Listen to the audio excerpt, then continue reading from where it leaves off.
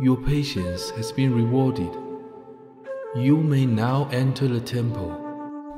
I appreciate the time you spent outside and your effort you put into making our meeting possible.